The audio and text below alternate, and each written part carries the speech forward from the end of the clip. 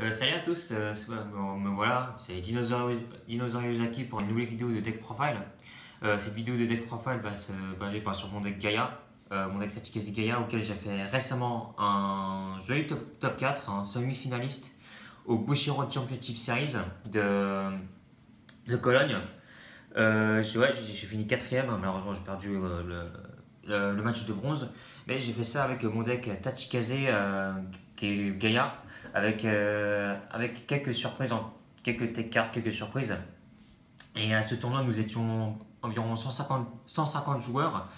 Et ouais, c'était un excellent week-end avec, euh, avec euh, la plupart de nos, de nos joueurs suisses. Alors, je vais, sur plus attendre, je vais commencer par la decklist maintenant. Alors, en grade, en grade 0, enfin le starter, une fois Baby Camara. 4, grade 3.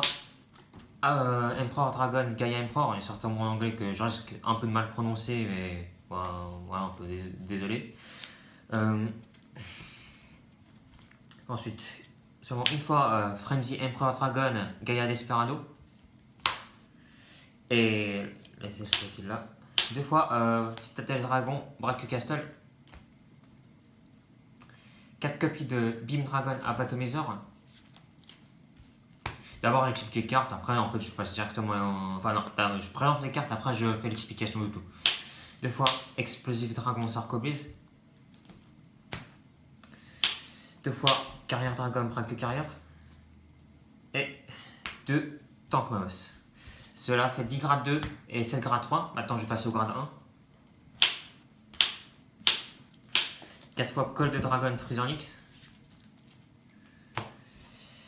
Euh, 4 fois Prism Board.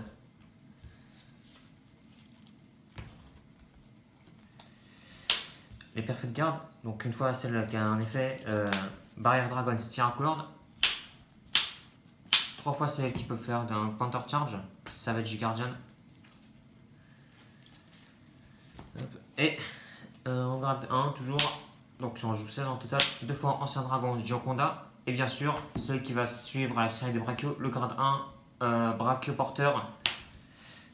Ça fait en tout 16 grade 1 au total. Donc maintenant on va voir les triggers. 4 triggers. Celui qui vient de sortir dans la. Enfin celui qui est sorti dans la Fighters Collection, il va défausser un grade 1 au moins pour piocher une carte s'il est utilisé pour le G-Guardian utilisé dans la Fighters Collection. C'est qui s'appelle Bolish Primer. Ensuite, 3 fois Critical, Cannon Fire Dragon, Parasol Launcher, Critical pour Gaia. Il se met dans le soul, on pioche une carte, plus 5000 pour euh, Gaia. 4 Draw Trigger qui se met dans le soul et qui donne 3 de puissance à une des unités. Et encore 3 autres Draw Trigger, Carré Trilobit. Le meilleur Draw Trigger au monde. Parce que. Parce que parce que c'est un Trilobit. Ouais. Ensuite, deux Stand Trigger euh, c'est qui Call Magnum qui a un très bon effet. Donc je suis passé au main deck. Maintenant, il temps de. Je vais passer à la G-Zone.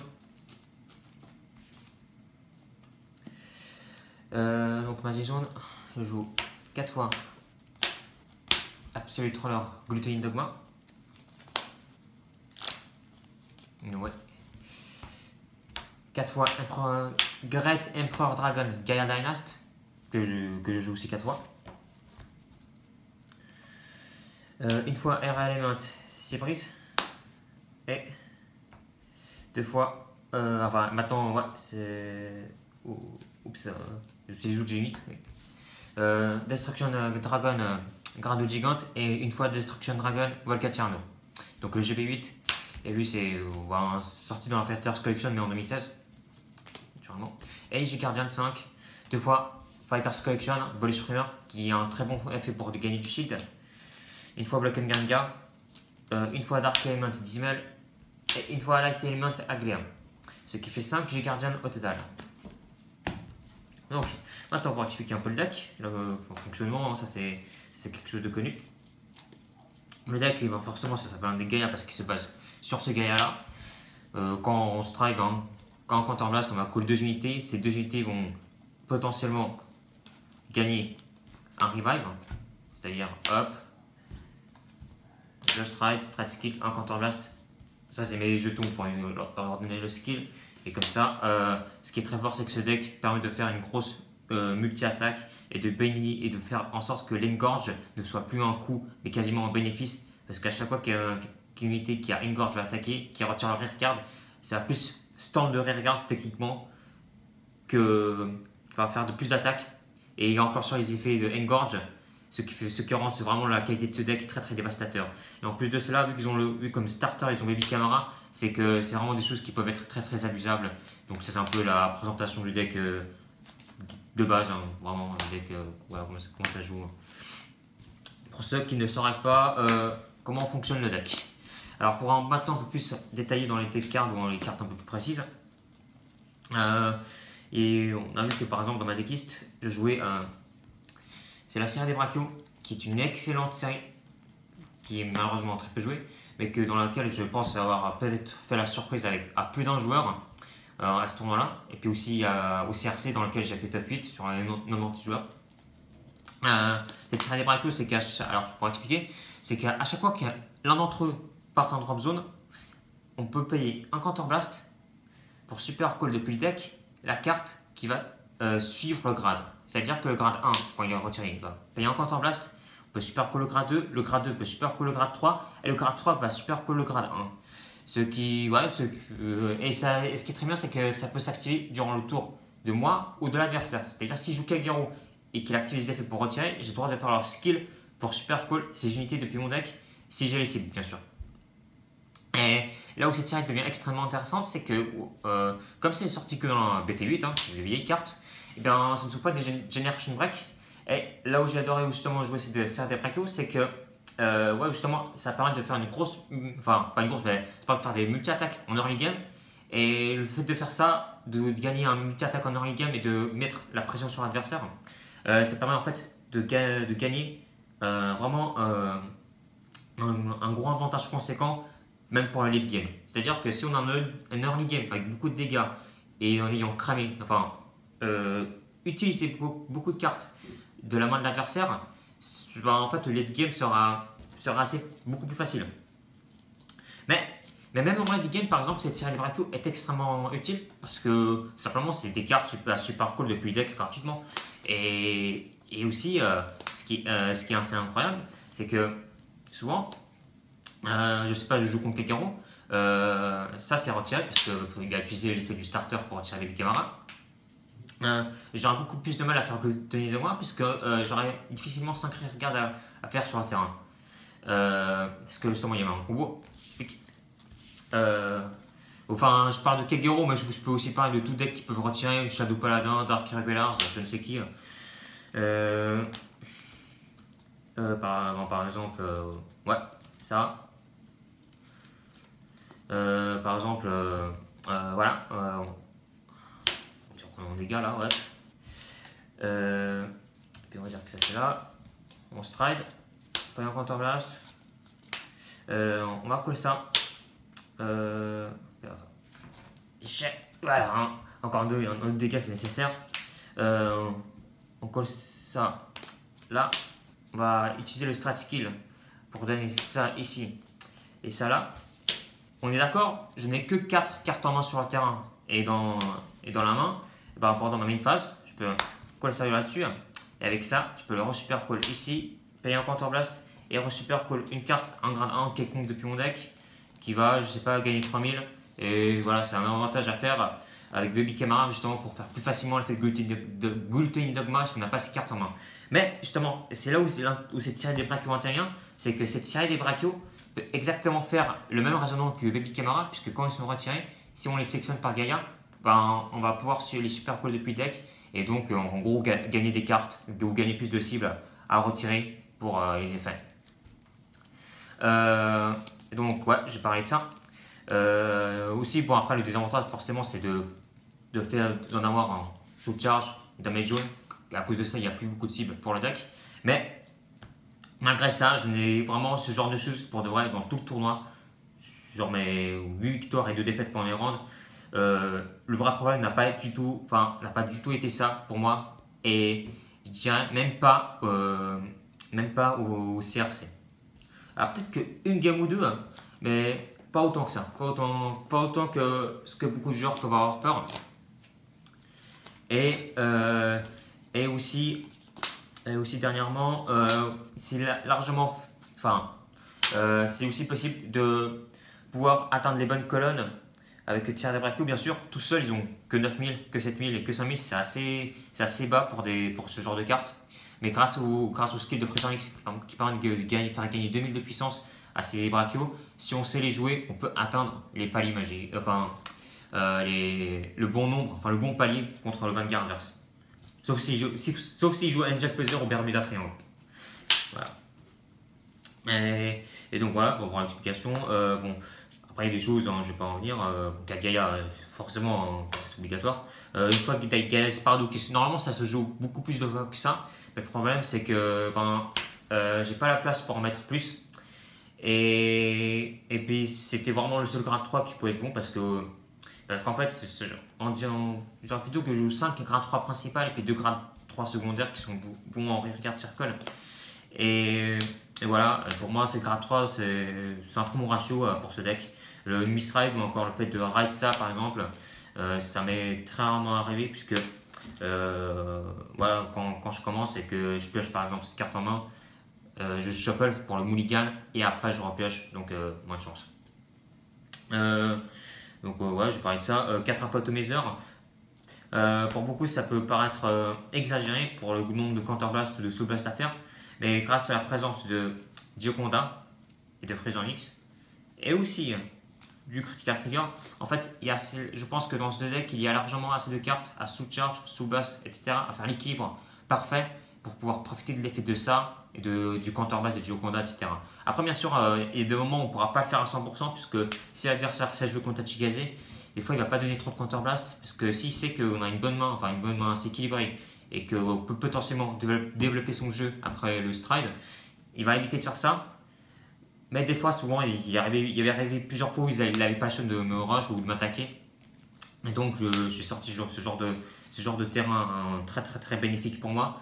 Et voilà, j'ai pris l'avantage sur la game. Et puis, ce, deck se base beaucoup sur euh, l'early game, ou aussi, ben, comme c'est dit, sur la late game. Donc, voilà.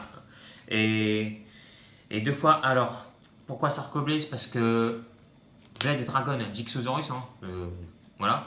Euh, il ne peut que retirer, enfin ça, ça peut retirer en early game. Et comme je l'ai dit, l'early est très important pour, euh, pour bien counter rush des decks comme Blaster ou Battle Sister, même, euh, même sous l'event turbo, hein. même sous l'event turbo, je dirais. Parce que c'est important de faire du multi-attaque contre ses regarde.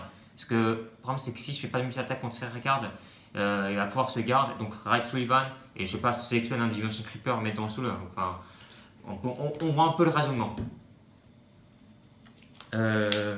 et donc, rien pour ça. Et puis pourquoi je ne joue pas le grade 2 à 11 000 qui s'appelle Gigant Flame? Parce qu'il est assez restrictif déjà.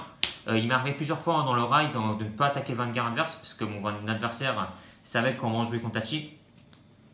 Et, puis aussi, deuxièmement, euh, le fait d'avoir un grade 2 à 11 000, bah, bah, en fait, euh, ça c'est pas autant nécessaire que moi, puisque supposons que je me, prends une, une, certaine agression, si j'ai suffit d'avoir un grade 2 qui a une gorge et puis ce genre de choses, enfin les, les brachios, ben, ça, dépendant du deck, ça permet aussi pas mal de remonter. Donc, euh, euh, rien que comme ça, euh, rien que comme ça, ben, je dirais que je dirais qu'il n'y a pas besoin de jouer le, grade 2 en 11 En plus, j'ai déjà testé en tournoi, puis ça, m'est arrivé, de, de je perds plusieurs games en le jouant, alors que si j'avais joué celle-ci, ce grade 2 Sarkoblaze, qui est beaucoup moins restrictif, et ben, ben en fait, j'aurais même quasiment, quasiment pu dire que j'aurais pu gagner.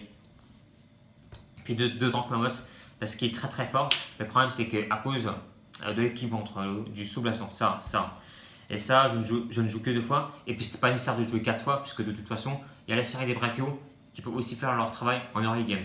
Euh, c'est aussi important de ne pas que trop avoir des cartes euh, comme Tank Mamos, parce que le problème, c'est que souvent, il faut aussi des unités comme ceux-là qui peuvent, qui peuvent retirer quand ils attaquent, parce que quand on fait le strat skill de Gaïa, pour euh, donner le revive. Ça sert à rien de donner sur le Torque Mamas parce que si on en a trop sur le terrain, c'est un peu problématique. Alors autant le donner sur, euh, sur, d'autres unités. voilà, donc pour ça, pas 4 fois Torque Mamas parce qu'on se doute bien qu'il n'y a, pas, a pas la place. Euh, ensuite, bon, ça c'est classique. Euh, J'ai essayé déjà de faire 2-2 comme ça, et pour de vrai, c'est assez instable puisque euh, si je fais 2 et 2 comme ça, je ne ferai quasiment euh, jamais par partie l'effet de ça pour counter charge. Alors autant faire comme ça, et voilà. Même si j'ai le, risque de faire 100 damage ou de le fléchir, je joue toujours 4 parfait cards donc, donc voilà, c'est assez conséquent. 4 strike fodder. Alors quand on joue celui-là, dans une déquise classique, c'est possible de faire 4 comme ça, et puis 3 strike fodder, ou 3 euh, comme ça, ou 3 comme ça, et puis d'autres unités. Mais dans la situation où on joue des grades 3 qui ne sont pas Gaïa, indispensable de jouer ça 4 fois. Pour tutoriser Gaïa et éviter le mauvais misride. 4 Freezer X, rien à discuter, c'est vraiment, pour le c'est le grade 1 qui, qui, fait tourner le deck, que ce soit en moteur de counter charge, sous charge. Euh, en plus, euh, c'est vraiment très très abusif. Donc, grâce à ça, je peux faire tous mes combos, toutes mes multi-attaques qui demandent pas mal de counter blast. Et ça, voilà, c'est exactement ça. Euh, puis ensuite, hein, s'il y a discuté sur le, bon, le trigger, forcément lui, hein, pas d'autre choix. Euh, je dis que 3 critical et 7 gros trigger.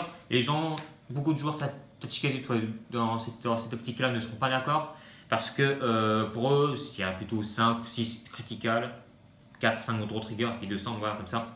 Euh, moi j'ai essayé de jouer plus d'auto trigger parce que je trouve que le deck Tachikaze en soi, dans ma version, ok, j'ai de l'early game, ça permet de compenser l'early game, euh, et j'ai du rush en fait, j'ai du rush. Mais le problème, euh, c'est que mis à part Apatomizer, je n'ai pas vraiment de, de, gros moteur de CA. donc le gros moteur de CA techniquement en fait c'est le tour trigger en, en damage check ou en, drive check et ça a un, avantage assez conséquent dans la game si je reçois des dommages, check un pro trigger. Et, et pour moi, voilà, c'est ce qu'il fallait. Euh, et puis, ouais, le stand trigger, il, est comme à jouer deux fois parce que il donne 5000 de puissance. C'est une bonne, très bonne unité à retirer dans, depuis le deck. Et puis, honnêtement, jouer des stands, si on sait jouer, si on sait faire les bonnes attaques au bon moment, euh, il, peut être aussi, euh, peut être aussi efficace. Donc, ouais, donc moi j'ai le stand trigger à garder.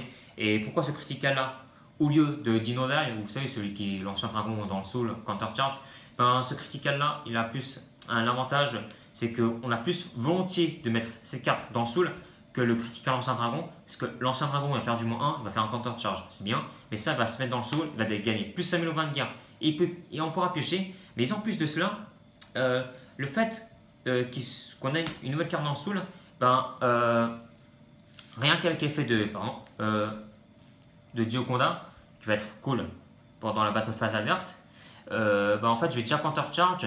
Donc j'ai déjà mon moteur de counter charge, pas besoin de jouer Dino Dime, autant jouer ce grade 0 là qui permet de se mettre dans le sol pour un meilleur bénéfice et en plus avec à la fin aussi un autre counter charge.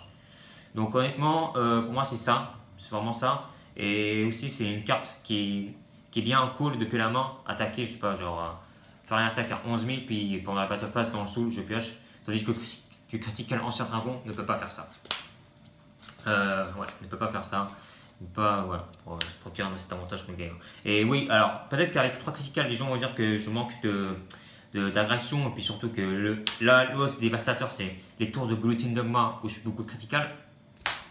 Euh, c'est exactement vrai, mais euh, je dirais que mais je dirais qu'en fait une bonne attaque de, un, bon premier strike et un très bon early game, ce qui peut très largement se faire avec ce deck euh, contre l'adversaire, ben, il suffira juste de deux attaques de Gluten Dogma puis d'autres multi-attaques. Même sans critical, il y a eu beaucoup de moments où j'ai réussi à achever l'adversaire sans trop de problèmes. Euh, et sinon, comme dernier tip, ce que je donnerais, ben, techniquement, bon, j'ai plus parlé de mon deck que des match-ups contre méta, bien sûr. Euh, contre méta, je, je, suis beaucoup concentré sur les decks, euh, sur les decks actuels. Euh, mais bon, bah, je pense pas que j'arriverai à expliquer tout, tout, tout maintenant. Parce que rien, qu'expliquer le deck de base, c'est déjà pas mal. Et ça donne pas mal ça, donne des informations. supposons que vous êtes dans ce cas figure. voilà. Hmm, attends, non. Better 10. Enfin, non, c'est mieux comme ça. Euh, et qu'on a ça. C'est pas l'adversaire attaque. J'ai gardien. Ceci, skill. Je retire ça. Je donne extra skill à cette unité là. Elle fait de ça. Je paye un counter blast. je vais pouvoir super call un grade 2 de pion deck, enfin le grade 2 de pion deck. Pardon, je recherche, il arrive, voilà, il arrive là. Donc je super call ici, parce que ce qui est bien c'est que ça ne super, super call pas forcément en open circle.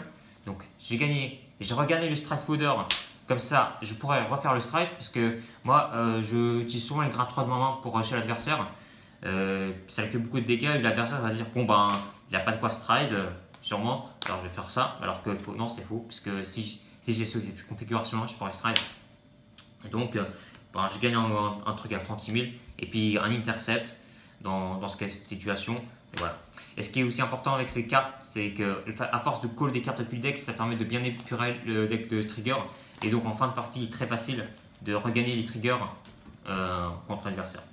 Même si ça n'arrive pas tout le temps, c'est juste les probabilités qui sont augmentées avec ça. Euh, Sinon, ben voilà, c'est rien, que pour expliquer, présenter tout ça, la vidéo a été assez longue, mais en tout cas j'ai été super bien content de faire de refaire du résultat euh, avec Tatikaze bon, pour mon top 8, euh, enfin mon top, enfin, mon, top 4 euh, à ce tournoi-là. Et, et puis, ouais, bon, j'ai fait sinon dans les 28, je crois. Dans les 28, j'ai fait 8, 8 victoires, 2 défaites. Et puis je gagnais, ouais, je gagnais, je gagnais les quarts de finale, je suis perdu en top 4 contre un deck euh, euh, Blade Wings. Euh, sinon, mis à part ça, le tournoi à Cologne, ben, c'est très bien passé pour moi. Le voyage en droit retour a été difficile parce que c'était pendant la nuit, j'ai pas dormi. Mais en tout cas, si je dois dire quelque chose, c'est que je remercie, je remercie David Ferreira pour, pour, pour, pour, pour être chauffeur ben, de, notre, de notre voyage. Je remercie aussi en fait la team, euh, la team Valhalla et puis, tout, et tous les joueurs suisses euh, euh, qui étaient là, hein, que ce soit Olivier, Michael, etc. Et puis, évidemment, si c'est un événement comme ça à refaire pour, pour, ben, pour, pour, faire top avec d'autres joueurs suisses, vraiment avec plaisir. Et puis, et puis sinon, on va remercier aussi à tous les autres Français. Ben, je sais qu'il y a beaucoup comme Tuggen qui ont, fait du résultat, etc. oui, euh, J'oublie des noms, mais, mais voilà, euh, ben, voilà, je crois que, je crois que j'ai fait tour. Alors, ben, merci d'avoir vu la vidéo si, si vous avez vu jusqu'ici, puis euh, ben, à la prochaine. Hein.